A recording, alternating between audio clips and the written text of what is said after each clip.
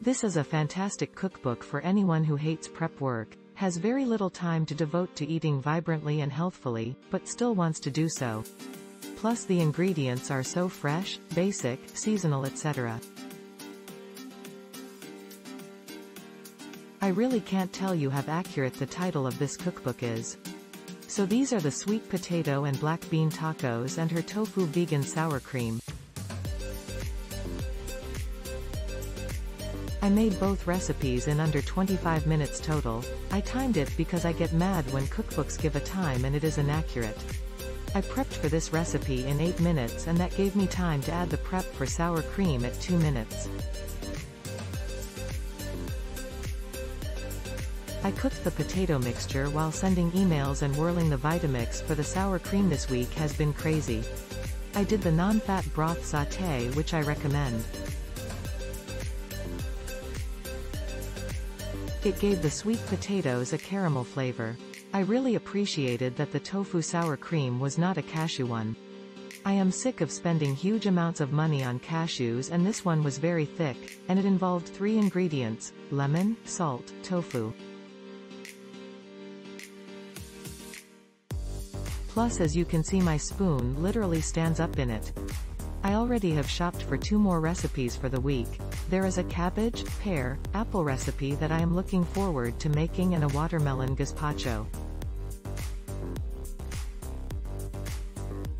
This is going to be my go-to cookbook for quite some time I am thinking. Yum times 10.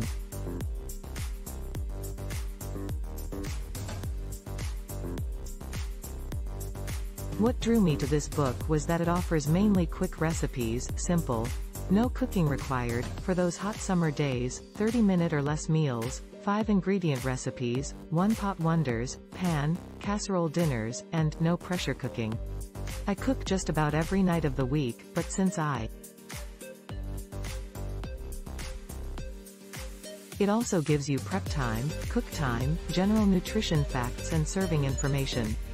It contains so much useful information as well such as, measurement conversions, the EWG's produce list of clean 15, dirty dozen, how to store fruits, veggies, and so much more. I would have loved to see more pictures of the dishes though, I am not vegan but I do try to eat plant-based as much as possible. I make dinner basically every day of the week so these recipes will be a big help with that. I don't eat much soy, so I will substitute for other things if I can. I usually customize all recipes I make anyways.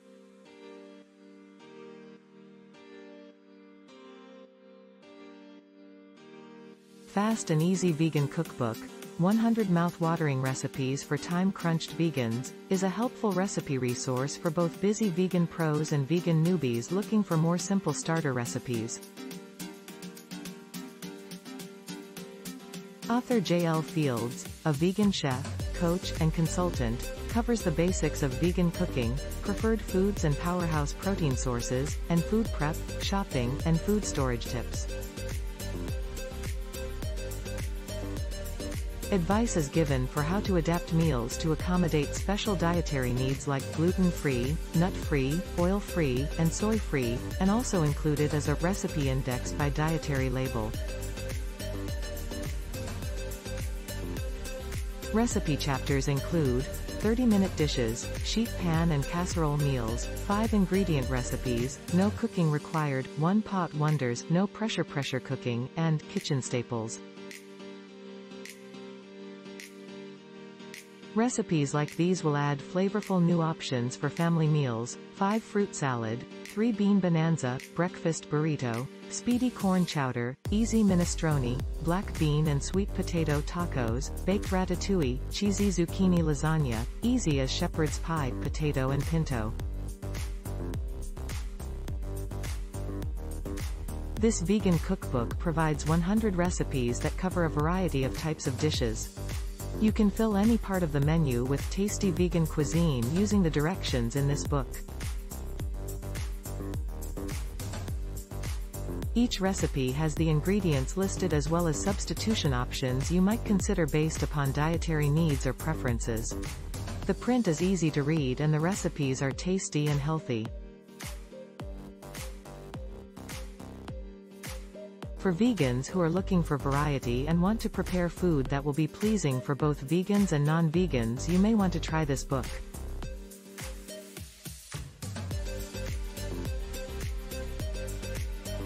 There are 100 recipes, with just 7 pictures. I may sound like a child, and maybe this won't be an issue for you, but I prefer cookbooks to have pictures of most of the dishes. The ones that there are pictures for are ones you wouldn't necessarily need one for like miso soup or tzatziki sauce. Show me what jackfruit Philly cheesesteak bowl looks like, or sheet pan pot au.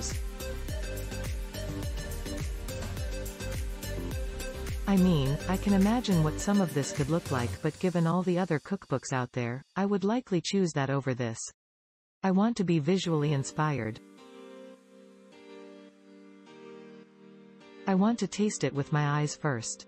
I, as a non-vegan even, will jump right into any recipe if it just looks good. I love to eat, and will eat anything. But sell me on it a bit. I think a cookbook that is inclusive of people just edging into a vegan diet should have the added persuasion of great, mouthwatering, tummy grumble-inducing recipes that use pictures alongside the recipe. Maybe not all, but many or most. That being said, I have some recipes to try. I love jackfruit, and am burning to make something other than pulled pork with it. This book has the typical introduction.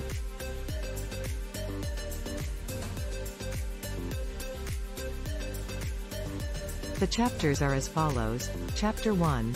Vegan meals made fast and easy, basically a primer. Chapter 2. No cooking required 20 recipes, no stove or oven required slaws, smoothies, breakfast bowls, wraps, salads. Chapter 3. 30-minute meals or less 20 recipes, burritos, skillets, scrambles, san.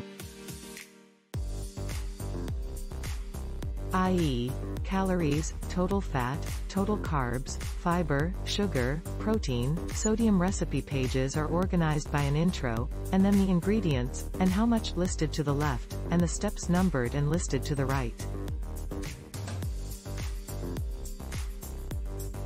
The dietary label index as nice as it tells you is, are gluten-free, nut-free, oil-free, soy-free.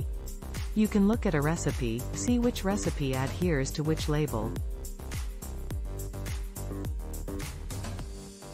From there though, you have to look for the recipe in the index or flip through the book.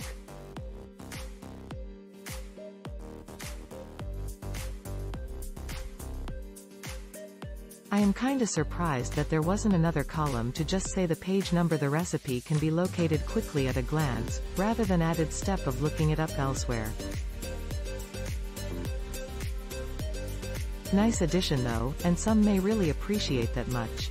For a more versed vegan cook, I would say this would be okay.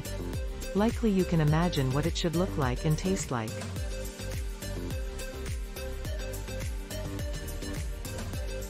I can do do because I have worked with most all these foods. However, I prefer more pics and sometimes that is the very thing that would keep me from adding a cookbook to my collection.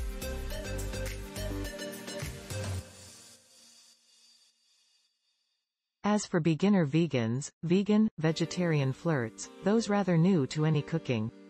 The lack of pics is also likely not helpful. Price-wise, it seems fair given that it is pretty much all text. I know pics bump up the price, so I am glad that it at least fits that bracket. Directions are easy to follow, but I am used to reading recipes and filling up my belly. I made seitan and eggy salad. I should have taken a pic.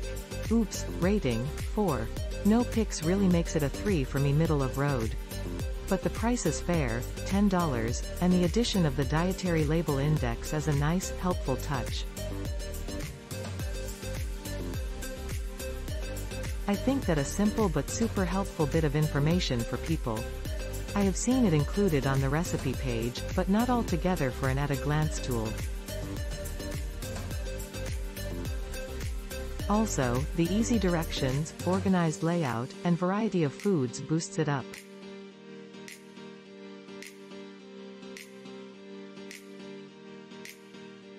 Click link in description for more reviews.